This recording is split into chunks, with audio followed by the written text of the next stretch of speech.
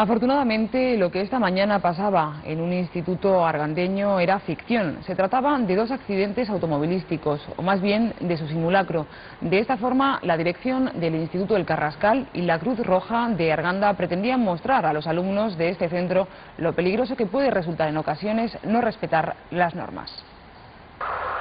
Concienciar a los jóvenes de los riesgos y consecuencias de la conducción temeraria.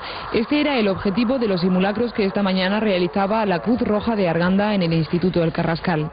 Fueron los propios alumnos del centro los protagonistas de estos accidentes ficticios, mientras sus compañeros observaban los comportamientos correctos de los miembros de Cruz Roja.